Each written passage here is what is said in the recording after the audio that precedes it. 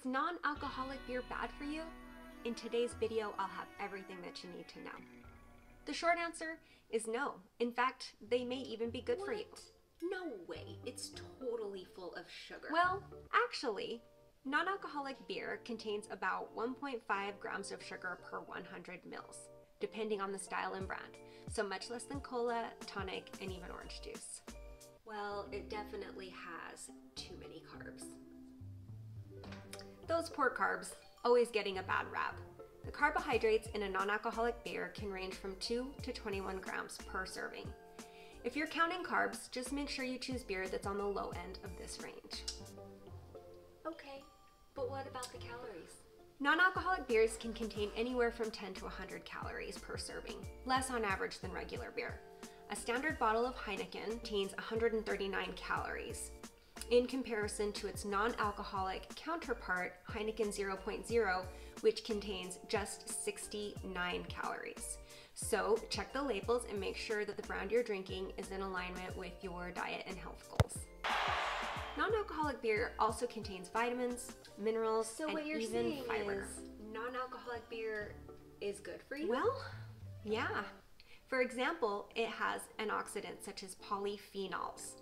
Polyphenols, which are derived from the malt, aid in circulation. They reduce blood pressure and inflammation, improve gut health, and boost immunity. Non alcoholic beer also has electrolytes. Victory Wheat from Wellbeing Brewery is as electrolyte rich as popular sports drinks with much less sugar. For a 16 ounce serving of Victory Wheat, you get zero grams of sugar, which you get about 35 in your average sports drink for the same amount. Electrolytes help you get and stay hydrated. Plus, they enhance exercise performance, promote sleep, strengthen immunity, improve cognition, stabilize your blood sugar, support heart health, strengthen muscles, and improve digestion. Because of this, non alcoholic beer makes the perfect post workout recovery drink. I love a cold beer after a workout. Me too. Um, where was I? Oh, yeah, silicon. Non alcoholic beers contain silicon, which promotes healthy hair, nails, skin, and bones, and overall collagen synthesis. Hops act like a sedative and soothe the nervous system, which means non alcoholic brews aid in sleep and relieve stress and anxiety. Non alcoholic beers contain vitamin B, folic acid, calcium, and potassium, but what they don't contain is alcohol.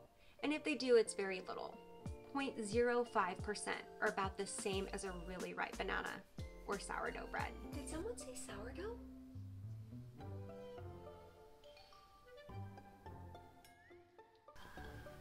Did you tell them to hit the like button? Not yet. If you're enjoying this content, uh, please hit that like button. So, is it okay to drink non-alcoholic beer every day? Everything in moderation, right? But honestly, why not? Read the labels and be mindful of how the carbs and the calories fit into your lifestyle. Considering all the benefits, it sounds like a functional beverage to me. But how does non-alcoholic beer affect your liver? Well, a study showed that non alcoholic beer, along with healthy diet and exercise, was well tolerated in individuals with cirrhosis. The study further noted improved nutritional status and quality of life. I would like to see this study. I'll definitely post a link in the description. Ooh, you know what video I think they should watch next? As a matter of fact, I think I do. Hey! Forget to subscribe. Cheers. We'll see you in the next video.